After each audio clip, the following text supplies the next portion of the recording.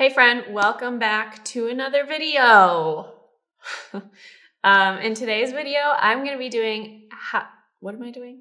I'm gonna be giving you a little tip on how to improve your watercolor, loose watercolor leaves. So if you missed it, we have a part one through three all on, what? We, we did four parts? Yeah. We have a part one through four on how to paint leaves. If you haven't watched it, go check it out. It's pretty good. We'll link it. We'll make sure to link it. However, so many people struggle with leaves. Painting leaves is a huge challenge because it's a compound stroke. You're going from a wide stroke with a lot of pressure to a thin stroke with little to no pressure without lifting your brush. And so many, especially beginners, really overthink it. And so in this mini do don't tutorial, I'm gonna give you some pointers on what to do versus what not to do with painting leaves.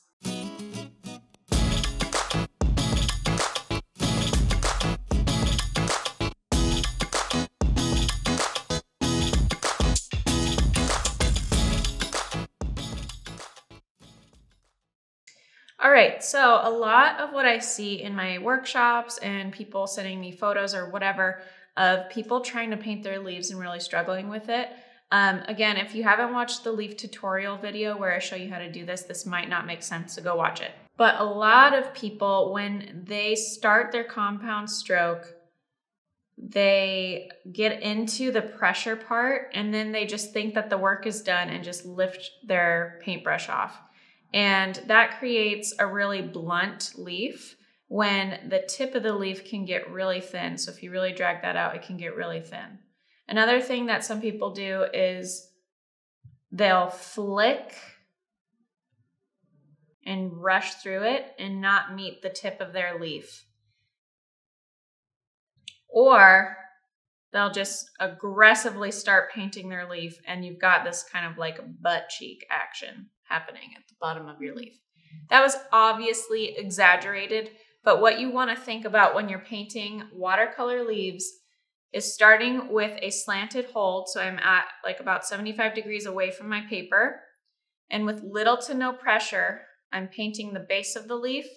And then right about here, I apply pressure and drag my brush in a straight line and then gradually release that pressure until it gets as thin as it possibly can while I'm still dragging the brush to the right. Then I'm going to do the same thing on the other side with pressure, gradual release, and meet that tip. Okay, so we've got thin, little to no pressure, pressure, gradually release to tip. And whatever direction your brush is pointing, make sure that's the direction the leaf will be pointing. Because if my leaf, if I want it to point this way, but my brush is going this way, I'm just going to end up with a really chunky looking leaf.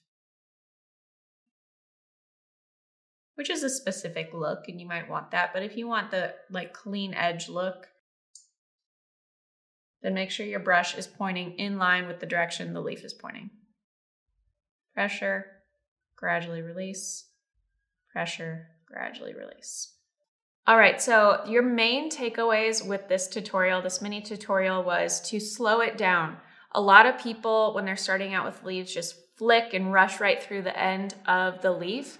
And that makes for some crisscross tips. And it also makes, means it's not a really clean edge.